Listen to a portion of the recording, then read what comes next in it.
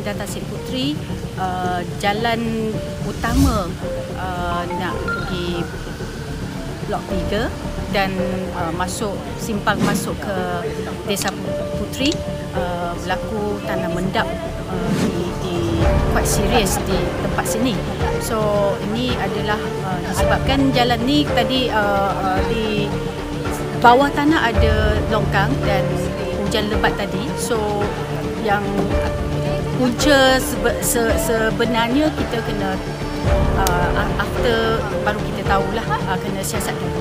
Dan pemaju akan uh, ni jalan ni masih bawa pemaju. Uh, pemaju akan ambil uh, tanggungjawab sepenuh untuk membaik balik uh, di uh, jalan ni. Dan saya akan report kepada majlis pengandaran uh, Selayang. Dan akan pantauan lah atas uh, kes yang. Uh, saya dapat tahu kejadian ni berlaku masa hujan lebat tadi lah. Masa saya keluar tadi nampak dah ada kawasan mendap So uh, masa keluar tu pun masih hujan lagi. Lepas tu saya dah keluar dari balik ni tengok makin teruk. So lubang ni makin besar. So mungkin akan uh, membahayakan penduduk pada waktu malam. Jalan ni biasanya masih gelap.